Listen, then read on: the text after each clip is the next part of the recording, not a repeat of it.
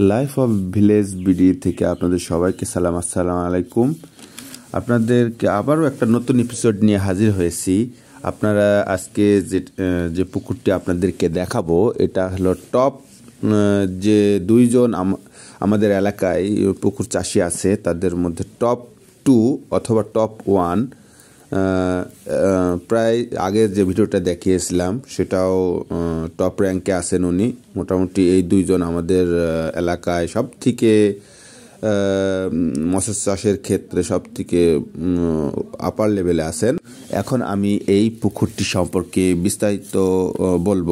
এই পুকুরটি হলো চার থেকে পাঁচ বিঘা। এর গভীরতা প্রায় বিশ ফিট অলওয়েজ পনেরো ফিট পানি থাকে। আর পাঁচ ফিট বর্ষার সময় বেশি হয় বর্ষার সময় বিশ ফিট পানি থাকে এখানে। এই পুকুরটি বিলের সাথে সরাসরি সংযোগ রয়েছে। আপনারা দেখতে পাচ্ছেন ওই যে বাম পাশে যে চ্যানেল, ওই মাধ্যমটি দিয়ে পানি পাস হয় এবং দুই পাশে এভাবে বাদ দেওয়া আছে উইথ রডের নেট দেওয়া রয়েছে। মাছ বের হতে পারে না, পানিটা সেকে বের হয়ে যায়।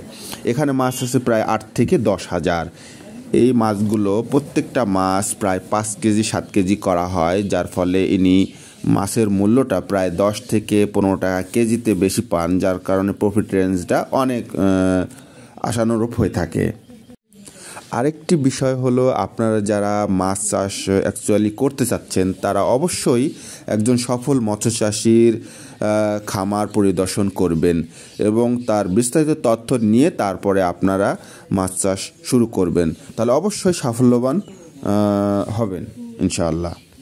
আর আপনারা যারা পুকুর নতুনভাবে কাটতে যাচ্ছেন, নতুনভাবে পুকুর কাটার জন্য আপনারা যে জমি রয়েছে, এই জমির মাটিটা সেল করতে পারবেন।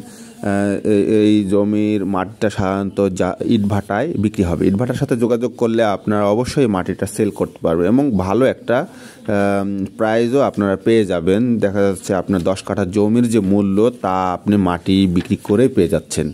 এবং পুখি পুকুর দশ থেকে পনেরো ফিট গভীর করে আপনি আপনার পছন্দ মতো পুকুরটাও কেটে নিতে পারেন আর অবশ্যই আমাদের ভিডিওটি যাদের ভালো লাগবে, তারা অবশ্যই ভিডিওটি সাবস্ক্রাইব করবেন লাইক কমেন্ট শেয়ার দিবেন।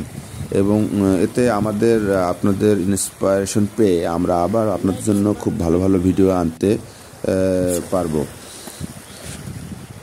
আজ এখানে শেষ করছি। সবাইকে সালাম। আসসালামু আলাইকুম।